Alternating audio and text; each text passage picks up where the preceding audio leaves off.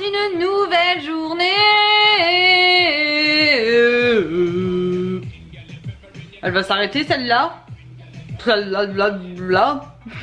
Bref, euh, nouvelle journée avec nous. Et je vais vous montrer une petite astuce, oui je suis euh, pleine d'astuces, pour faire son sport quand on a un enfant, pour le faire participer et avoir une belle ambiance à la maison. Rythme dans la peau, comment, je fais des squats, je saute, gagne le ventre au max et donc vous allez voir que vous êtes en et c'est comme si vous aviez fait euh, une séance de cardio. Je vais vous montrer ça. Viens là, viens là maman, saute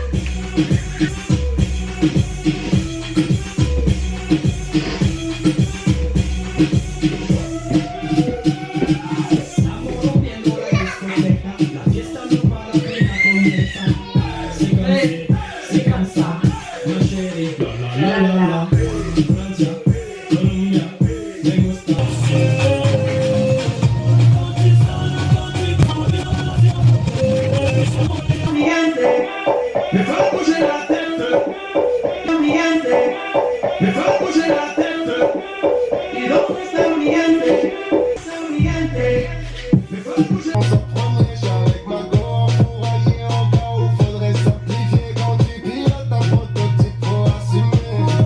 Donc voilà, des fois je fais ça pendant 30-45 minutes.